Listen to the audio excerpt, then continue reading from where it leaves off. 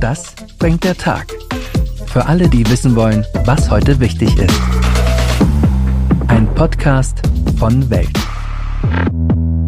Schönen guten Morgen. Es ist Donnerstag, der 9. November und ich heiße Imke Rabiger. Ich sage immer, seid vorsichtig. Lasst euch nichts einreden. Es darf nicht, es darf nicht sowas wieder geschehen. Diese Worte stammen von der mittlerweile 102-jährigen Margot Friedländer. Sie kämpft als eine der wenigen noch lebenden Holocaust-Überlebenden bis heute gegen das kollektive Vergessen. In Deutschland finden heute wie jedes Jahr am 9. November Gedenkfeiern für die Opfer des Holocaust statt. Sie erinnern an die Nacht der Novemberpogrome 1938, als deutschlandweit Nationalsozialisten Synagogen niederbrannten, Juden misshandelten und ihre Wohnungen und Geschäfte verwüsteten. Mehr als 1300 Menschen starben damals. Diese Gewaltwelle markiert den Beginn des Holocaust. Ausgerechnet seit den Angriffen der Hamas-Terroristen auf Israel am 7. Oktober steigen jetzt wieder vielerorts auf der Welt die Zahlen antisemitischer Übergriffe. Und der 7. Oktober wird schon jetzt als der schlimmste Angriff auf jüdisches Leben seit der Shoah bezeichnet. Weltchefredakteurin Jennifer Wilton berichtet gleich nach den Nachrichten im Thema des Tages, wie zwei jüdische Frauen die Welt seit dem 7. Oktober erleben. Ich bin Dennis Braun. Guten Morgen und das sind unsere wichtigsten Nachrichten des Tages. Aus dem Norden des Gazastreifens fliehen noch immer tausende Palästinenser in den Süden. Laut israelischer Armee wurde gestern erneut ein vorübergehender Fluchtkorridor eingerichtet, den ganze 50.000 Menschen genutzt haben. Von Tag zu Tag steigt diese Zahl damit immer weiter an. Auch heute wollen Israels Streitkräfte wieder einen Fluchtkorridor einrichten, damit die Zivilbevölkerung vor den sich zuspitzenden Kampfhandlungen im Norden fliehen kann.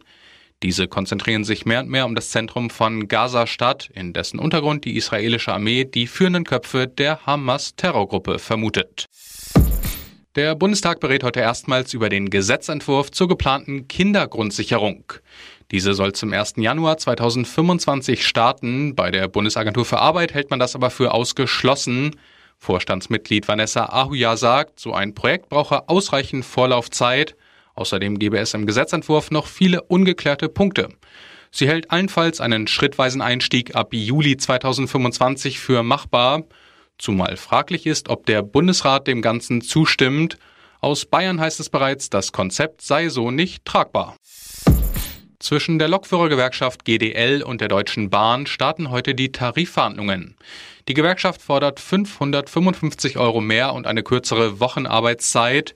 Die Bahn hält die Forderung für überzogen und nicht erfüllbar. Die Lohnausgaben würden damit um 50 Prozent steigen, heißt es vom Bahnvorstand. Er hatte die GDL außerdem aufgefordert, vorerst auf Streiks zu verzichten. Davon hält GDL-Chef Weselski allerdings nichts. Die Bahnmitarbeiter hätten ihre Messer schon gewetzt, hieß es zuletzt, und Streiks könnten schnell folgen, auch in der Weihnachtszeit.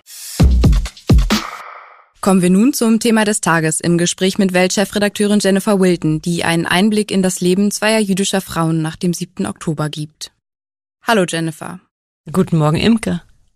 Du stehst mit zwei Frauen aus der jüdischen Community gerade in Kontakt, um zu erfahren, wie es ihnen geht. Wer sind die beiden denn?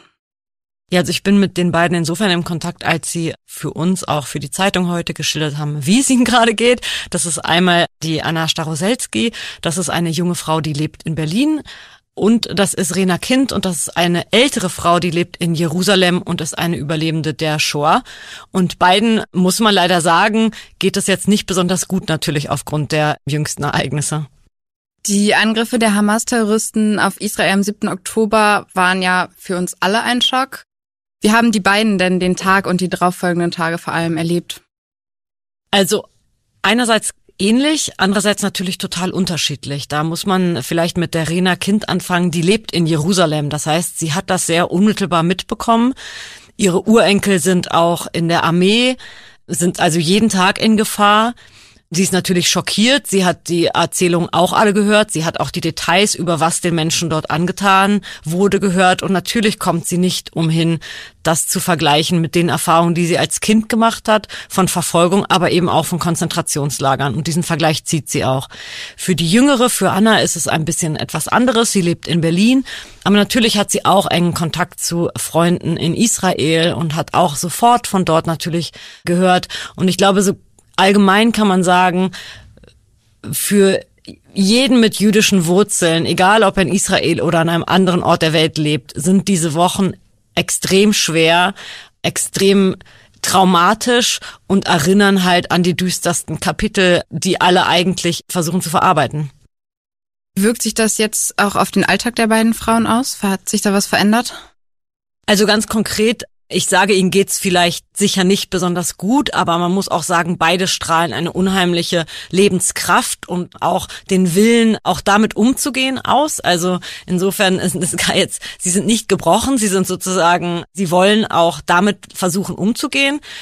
Ich glaube, für die jüngere Frau aus Berlin ist es auch eine ganz praktische Frage. Natürlich sagt sie, traut sie sich jetzt nicht ohne weiteres mit Symbolen, die sie als Jüdin identifizieren, rauszugehen. Also natürlich wir alle wissen ja, nach diesen Anschlägen kam es zum Ausbruch von Antisemitismus auf den Straßen, auch gerade in Berlin.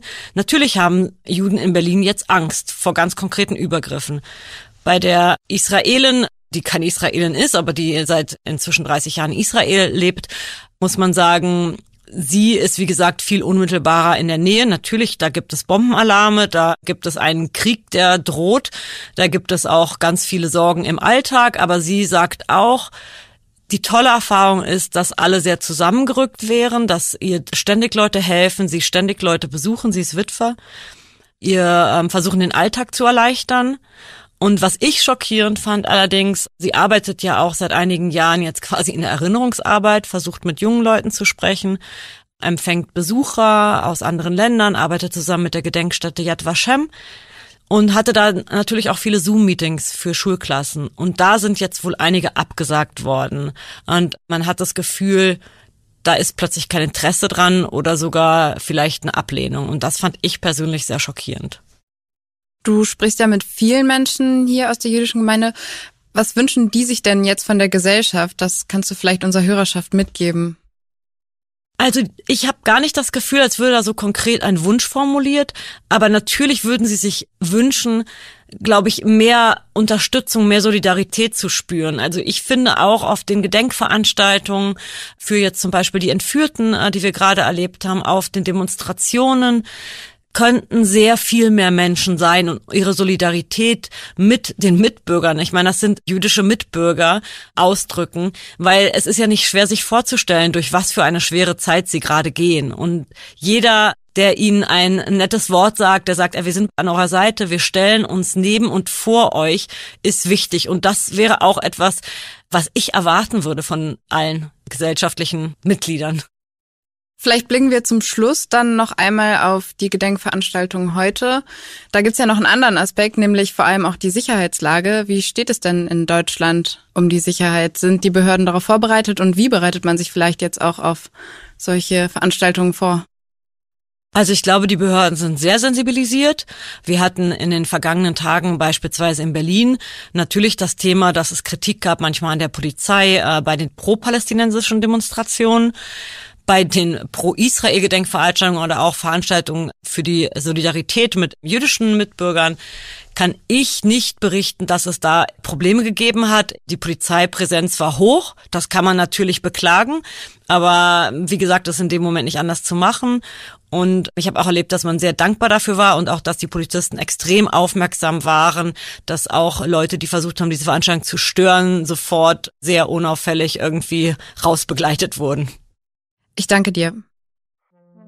Die Texte der beiden Frauen können Sie heute in der Zeitung lesen. Wenn Sie zudem mehr von Margot Friedländer hören wollen, verlinke ich Ihnen unseren Weltpodcast mit ihr.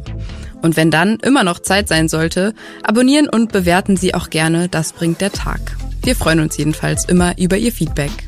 Redaktionsschluss für die Nachrichten war 4.30 Uhr. Die heutigen Meldungen wurden produziert von Regiocast.